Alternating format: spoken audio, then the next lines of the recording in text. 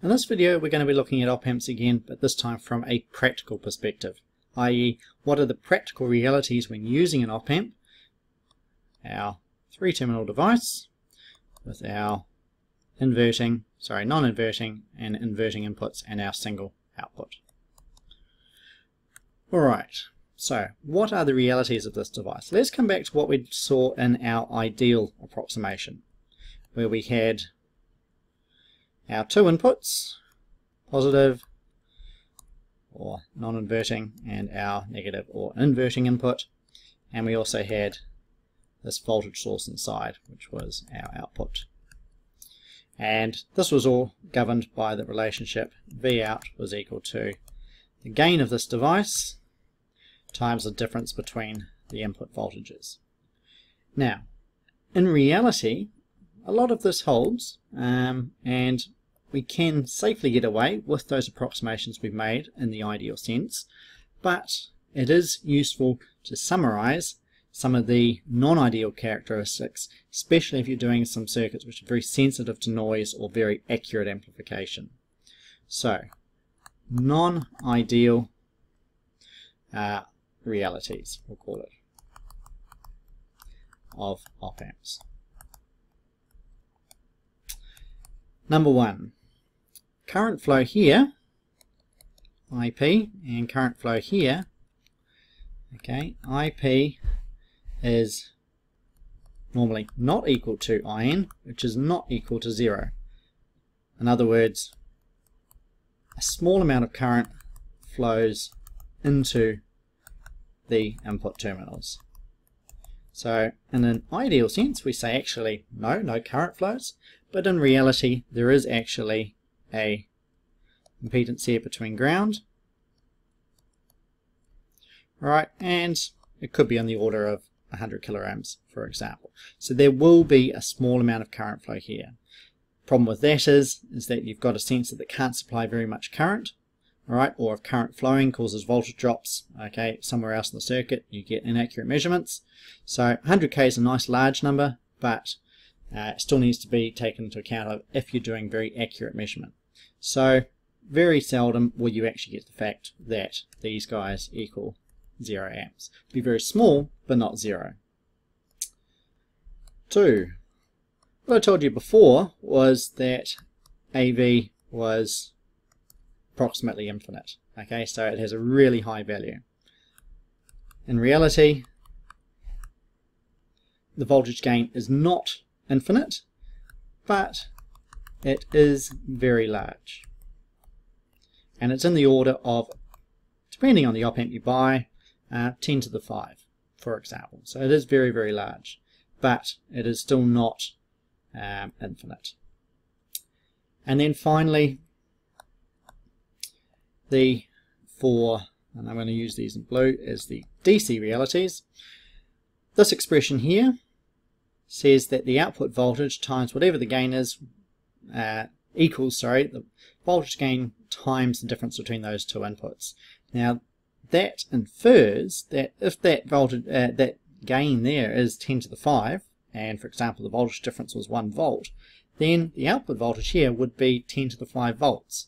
Straight away we should know that V out cannot be 10 to the 5 volts or else it's quite a remarkable circuit. So V out cannot exceed the supply rails. Now in this particular diagram we don't see that okay but if we bring back up to here VCC and VEE and if we were to draw for example a circuit here okay, this is time this is voltage let's say that's 0 volts and this line here is the VCC value this one is the VEE value. Okay, so let's say we've got positive and negative power supply rails here. If I was to uh, put in a sine wave here, which is going to be amplified through this device, what you will notice is if it is amplified and the output voltage exceeds the voltage supply rails, this bit here will actually be cut off. And so what will happen is you'll actually end up clipping. So your output will stop and it'll come along that line there. And you'll get what's known as clipping where it stops at that voltage supply rail there. So I'll do it in red. All of the bit in red you actually won't see. Right, that will all be clipped uh, by the voltage supply rails. So the DC reality there is, is that the output voltage cannot exceed the supply rails. And in reality, a lot of devices actually won't let you go right up to those supply rails. Okay, it might be VCC minus 0.2 volts if you're lucky, um, and correspondingly for VEE. Alright, so non-ideal realities, there is some small current flow. Typically I can ignore that, but there is a small amount of current flow into the input terminals. The uh, voltage gain, okay, open loop voltage gain is, is not infinite, but it's still very large. Once again, I'm not so worried about that one because I never really operate in a open loop configuration. So the fact that it's not infinite, but it's still a very big number doesn't bother me. But this one is very, very important in your design. All right, you're designing a amplifier to go from 0 to 12 volts, but you've only got a 10 volt power supply rail. I've seen many people do it. Um, so just remember that whatever these guys are, they constrain or limit V out. And often you won't get what's called rail-to-rail -rail operation. Okay, let's have a look at the AC parameters. In the AC non-ideal realities, there's a couple of main ones. First of all, the bandwidth is finite. So remember when I showed you in ideal op amps, our frequency response looks something like this with a straight line all the way up to infinite hertz. Well, in reality, it is not the case. Now, sorry. Instead, we have this type of frequency response. So frequency versus gain. And we still get a nice flat frequency response, but we have some frequency, some upper corner frequency where the gain starts to roll off. So above corner frequency, gain is not constant.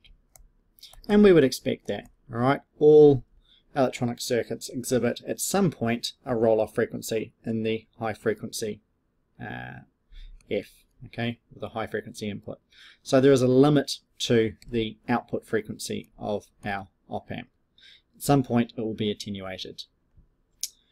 Two, uh, in keeping with that, we also then have um, the slew rate, which is the maximum change in voltage over time, so the gradient there, uh, is limited. It's not infinite.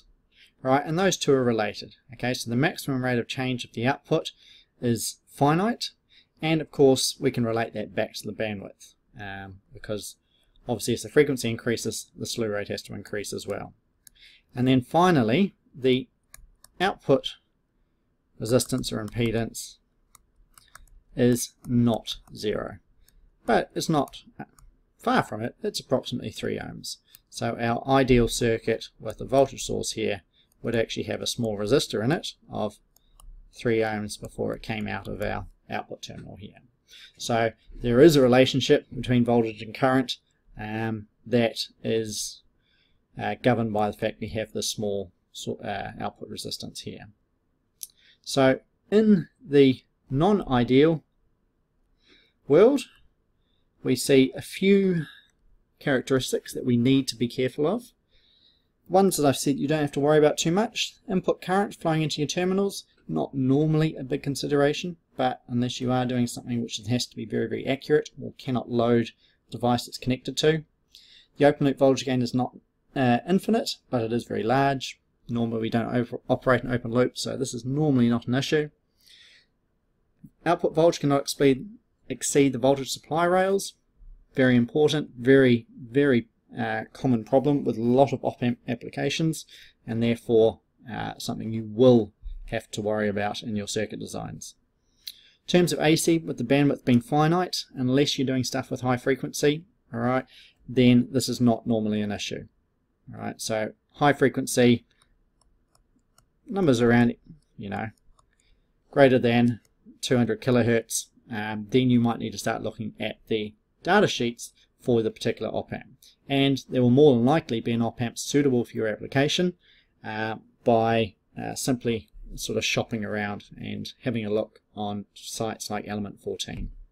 And the slew rate there is related to that.